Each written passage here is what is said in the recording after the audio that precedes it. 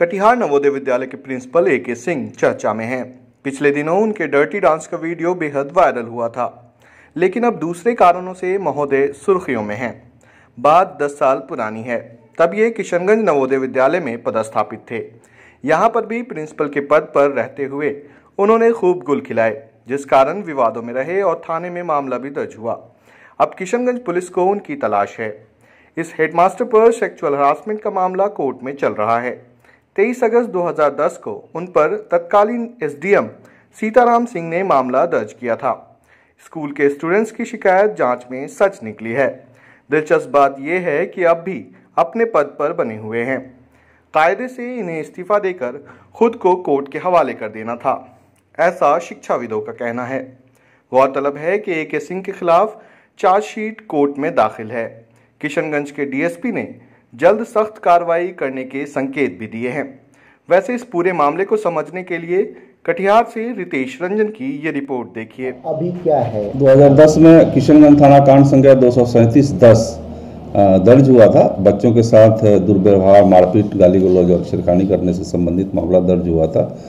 और वर्तमान में जो है कि उनके विरुद्ध चार्जशीट संख्या पाँच सौ तैंतालीस अब्लिक ग्यारह समर्पित किया जा चुका है। पुलिस के स्तर से कांड का अनुसंधान समाप्त कर लिया गया है। और चार्जशीट सबमिट करने के बाद माननीय न्यायालय में ट्रायल प्रारंभ हो चुका है। चार्जशीट में क्या उन्हें दोषी पाया गया है? हाँ चार्जशीट तीन सौ इकतालीस पाँच सौ चार पाँच सौ छः भादवी की धाराओं के अंतर्गत दोषी पाते हुए चार्जशीट सबमिट किया गया पुराना ट्रैक रिपोर्ट ये सब दावा, ये कहाँ तक जायज़ है? देखिए, ये तो खैर मतलब इतना हम उनके बारे में न जानना चाहेंगे, न ये करेंगे, लेकिन बात तो यहीं पर आ जाती है कि एक शिक्षक के रूप में, एक व्यक्ति के रूप में ही ये बेहद शर्मनाक और निंदनीय है, और एक शिक्षक के रूप में तो अक्षम्य है कि आप एक शिक्षक के रूप में जब ऐसी छवि अपना पेश करते हैं तो आपके जो शिक्षक, आपके जो बच्चे हैं जो आपसे शिक्षा ग्रहण कर रहे हैं वो ऐसी शिक्षा लेकर के ज़िंदगी में आगे बढ़ेंगे तो वो क्या बन पाएँगे? वो देश के लिए कैसे नागरिक क्या करना चाहिए संस्था को?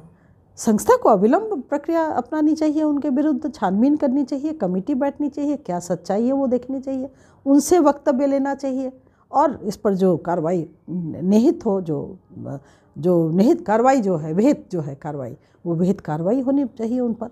अन्यथा ये बहुत अच्छा बहुत बुरा उदाहरण पेश होगा। समाज में शिक्षकों के प्रति भी और समाज के लिए भी बहुत बुरा उदाहरण पेश होगा। इसीलिए।